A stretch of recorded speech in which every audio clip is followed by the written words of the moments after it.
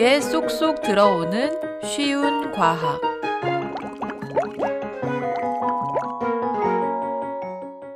여러분, 태풍이란 과연 뭘까요? 아, 태풍이요? 음, 그거 제가 잘 알아요. 그래? 엄청난 비와 함께 바람이 회오리 쳐서 오는 거잖아요. 어쭈, 친구 좀 한다. 뭘? 이 정도 가지고?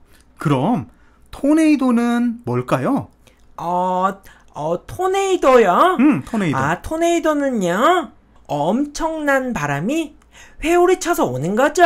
어? 그것도 회오리? 어? 뭔가 똑같은 것 같은데? 태풍과 토네이도 차이점은 모르고? 어, 차이점? 어, 그건 알지. 뭔데 뭔데? 태풍은 한국말이고요. 토네이도는 영어죠. 어쩐지 처음부터 친구가 너무 잘 나간다 했어. 그러게. 음, 그럼 넌 정확히 알고 있어? 어? 어, 아, 어, 쌤. 음, 쌤이 설명해 주세요. 그래. 그럼 쌤이 자세히 설명해 주마. 네. 그 전에 우리가 공기와 기압에 대해서 먼저 알아봐야 하는데요. 어, 어렵게 말고요. 쉽게 쉽게 쉬운 셈이잖아요. 알았다, 알았어. 우리 지구 하늘에는요, 최소 100km 높이까지 공기가 둘러싸여 있어요. 와, 하늘에 엄청 공기가 많이 있네요. 그렇지? 공기가 부족해질 일은 없겠어요. 오, 그런데 왜 공기는 지구를 둘러싸고 있을까요? 지구가 추워할까봐? 아니면 지구를 좋아해서 푹 둘러싸고 있는 걸까요?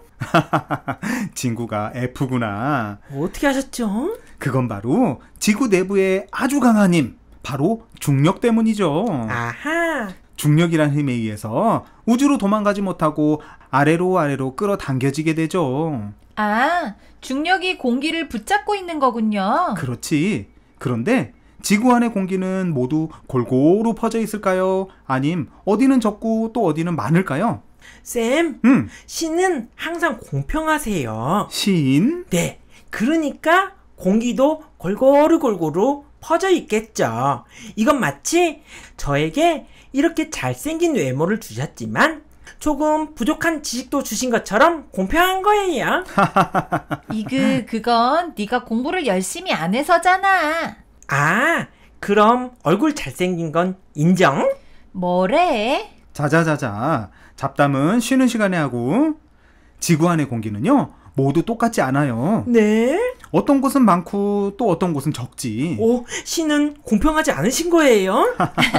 만약 친구가 산에 올라갔다면 산은 높으니까 당연히 거기에는 공기가 적을 테고 마시리가 바다에 있다면 당연히 거기는 낮으니까 하늘이 공기는 많을 테고 아, 내 머리 위로 하늘이 높으니까 그만큼 공기가 많고 진구가 산꼭대기에 있다면 진구 머리 위로는 공기가 상대적으로 적은 거군요. 그렇지. 어휴, 그래서 등산할 때는 숨이 찼던 거군요.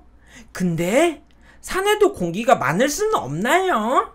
친구가 숨이 찼어? 네, 숨이 찼던 건 공기가 적어서라기보다는 운동 부족이야. 네. 네가 체력을 더 키우렴.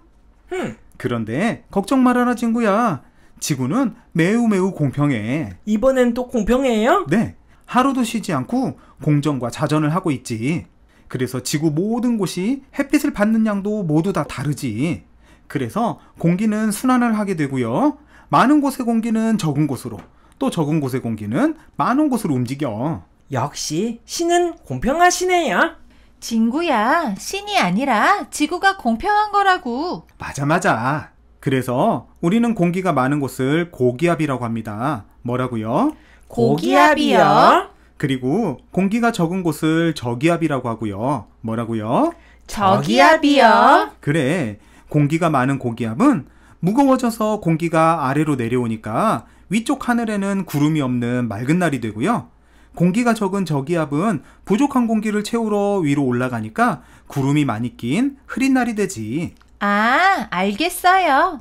그런데 태풍과 토네이도는 언제 배워요, 쌤? 그래, 태풍 토네이도 배워볼까? 오, 마시라, 마시라. 지금 몇인 줄 아니? 시계는 보는 거야. 쉬는 시간이 10초 남은 이 시점에 쌤에게 물어보면 쌤이 또 신나셔서 얼마나 말을 많이 하겠니? 안 그래? 으이그, 네 잔소리 듣다가 쉬는 시간도 다 끝나겠다. 어? 벌써? 오, 나 화장실 가야 해.